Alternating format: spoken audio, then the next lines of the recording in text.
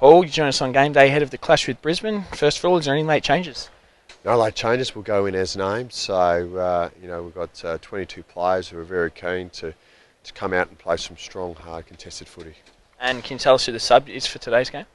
Yeah, Travis Colyer will be our sub. So it's great to have Travis back in the side. He, uh, he just had a remarkably good pre-season and uh, the coaches has, uh, said it many a time that he was probably our best in terms of the, the, the type of pre-season he did. He got a lot bigger, he got a lot stronger and uh, certainly a lot fitter. So we're really excited to have him back. Unfortunately, he was injured in the lead up to round one. Um, he came back through the VFL last week, played a game, gained some confidence with his broken thumb, and we'd expect him to come on the ground as he did last year and have an impact. Along with Travis, there's two others coming in today to the team that played uh, played against Collingwood last week. Courtenay Dempsey and Nathan Lovett Murray. It'd be good to have them back.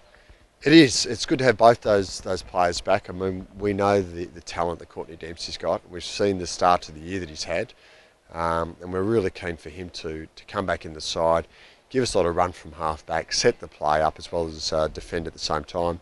Nathan Lovett Murray's a remarkable player. He's uh, he's had his share of injuries, but um, you know how tough and hard he is around the ball, and uh, you know the coaching group just love the way he goes about things, and um, hence he's straight back into the side, and uh, we look forward to some of his aggression at the ball out there on the field.